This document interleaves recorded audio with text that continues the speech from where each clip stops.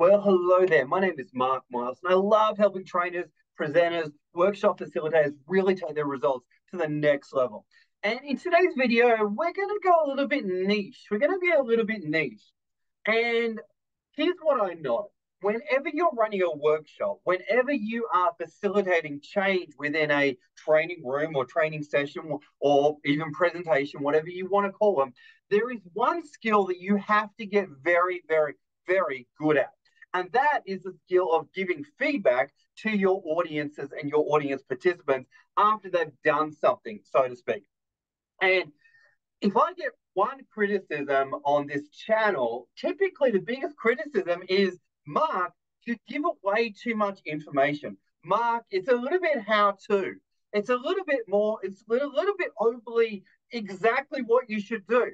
Now, I don't understand why that's necessarily a bad thing. And I would have to say that the purpose of this channel is to exactly tell you exactly the magic that you can follow in order to get great results. And here's the thing, folks human nature.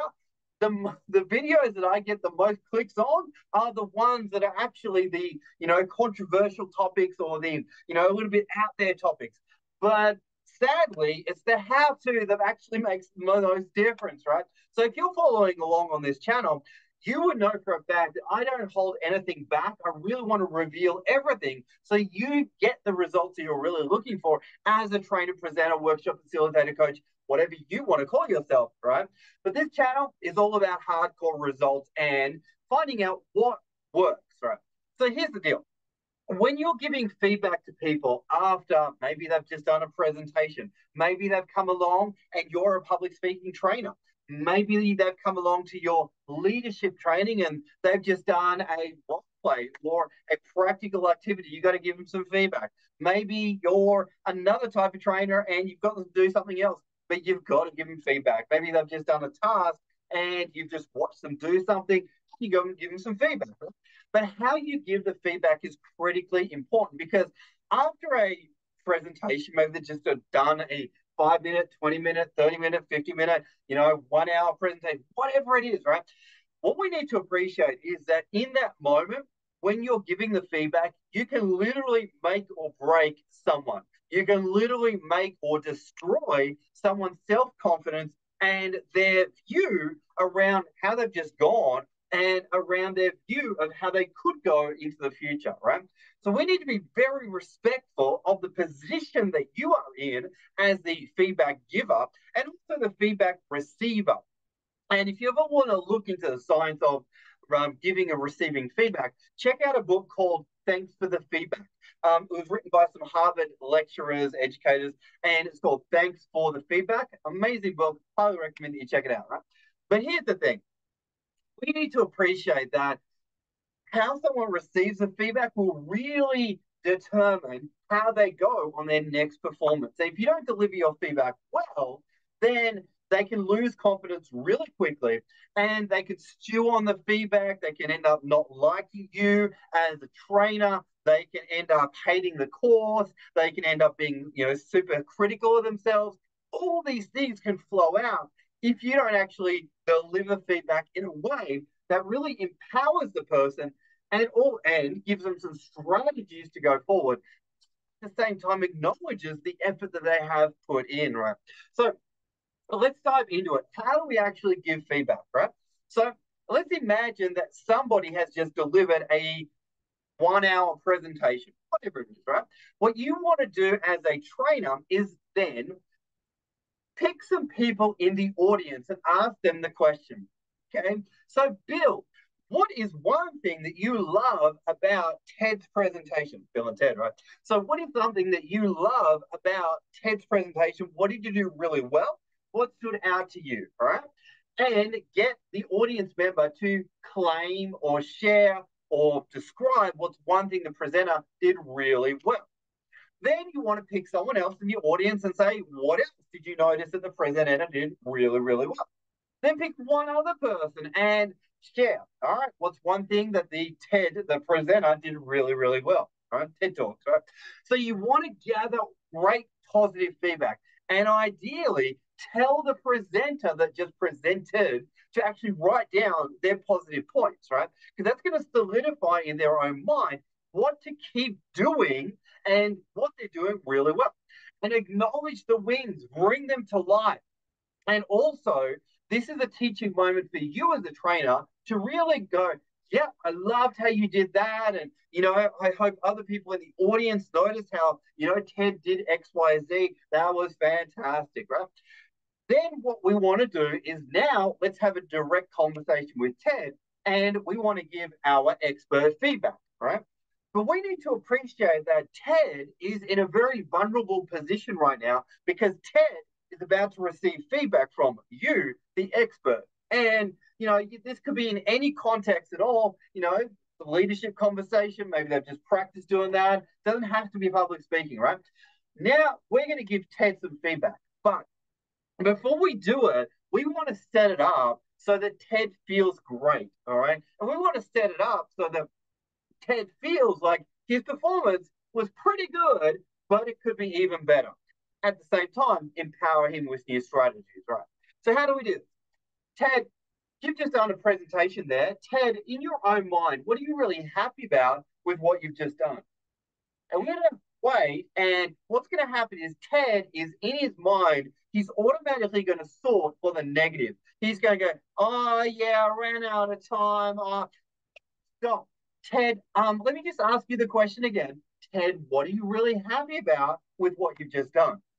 And Ted goes, oh, the time. No, Ted, what are you really happy about?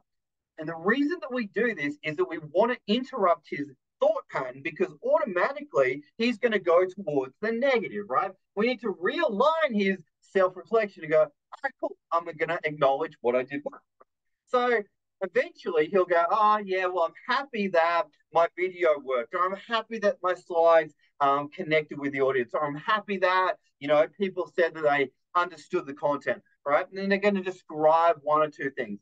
You definitely want to acknowledge what they've just said and say, yes, absolutely, totally agree with that. Yep, that, yep, absolutely that. Yeah, really well done, right? and you want to exemplify or magnify what they really did that even you agree with, right? Now, next question you want to ask is the springboard. Next question is, all right, so Ted, um, one question I love to always ask myself after every presentation, knowing that no presentation is ever going to be perfect, is I like to ask myself, if I ever did that presentation one more time, what's one thing I might do differently? Because I know for a fact there's many, many things that I probably want to change.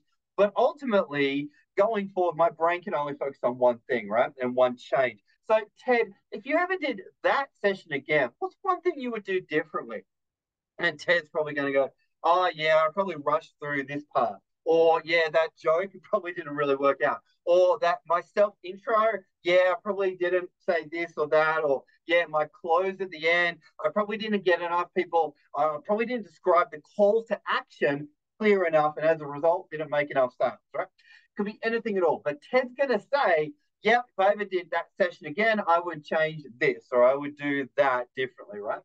And you go, awesome. That probably don't say that, but right. You go, Ted, yep, fair enough, fair enough, right?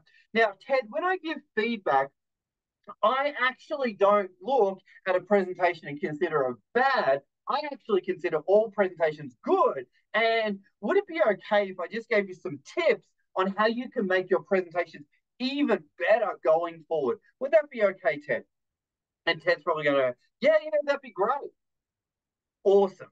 Well, Ted, um, I'd just love to share with you a couple of tools, some tactics, and even some shortcuts on how you can make the session go even better next time if you ever deliver the session again. Hopefully that will be okay with you.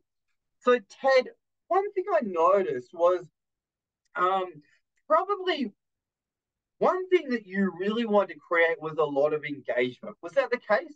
Yeah, awesome. And Ted, one thing, one other thing I noticed that um, you probably wanted to um, do really well was the time management side of things. Was that, was that the case? Yeah. And probably another thing that you were really conscious of was the level of experience in the room. Right? Was that the case? Yeah, awesome. Well, one thing I noticed that um, you could do to make the engagement even better would be X.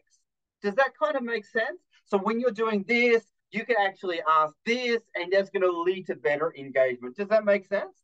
Awesome. So grab a pen and write that down, right? So strategy one for engagement is blah, blah.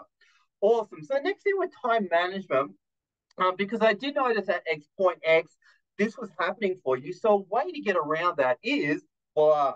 So go ahead, grab a pen and write down that second one that we mentioned there about time management. And hopefully other people in the audience, you're writing these down as well there, right? Now, point number three was blah. And one strategy or tool to get around that is X. Everybody make sure you capture that one as well, because I noticed other people were struggling on that as well. There. So let's just recap, Ted. So we talked about the key areas of this, this, and this. And the three strategies to really overcome or nail those things were this, this, and this. Ted, do those and do those strategies kind of make sense there? Are they helpful for you? And Ted's going to go, yeah, that makes sense. I, I want to possibly try those out going forward. Sure.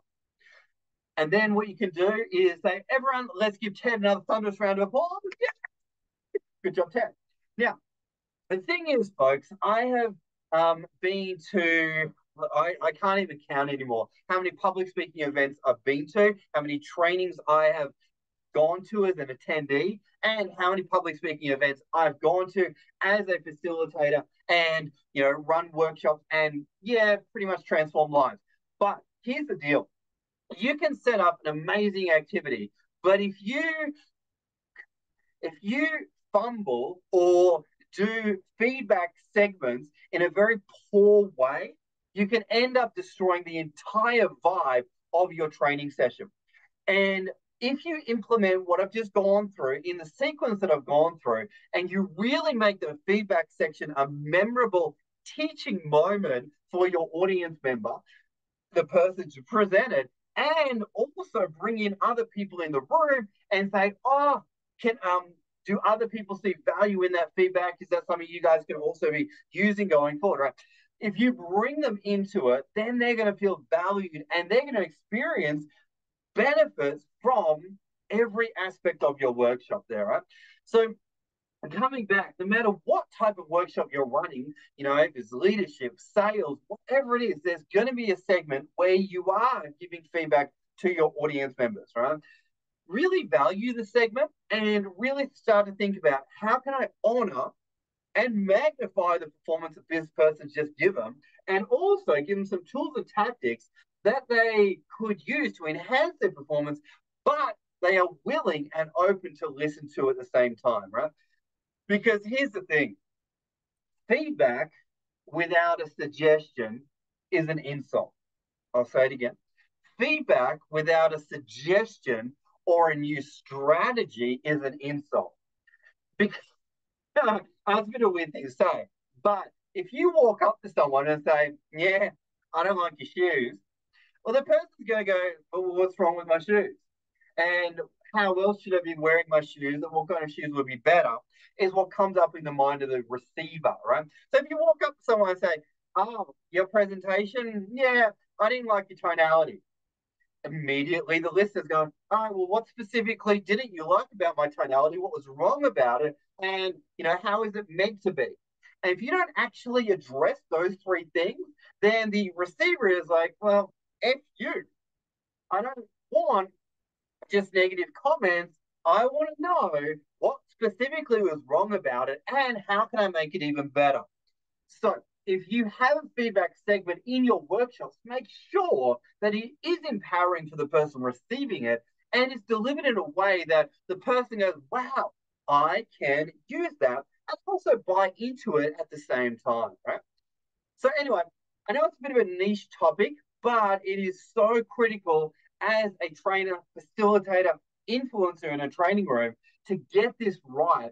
And if you don't, you're going to have crushed confidence and people are going to walk away from the training experience, training environment going, well, I didn't really like that. Oh, who the hell was that person be giving me that feedback? Or ouch, ouch, ouch. Or no, I just give up. It's all too hard.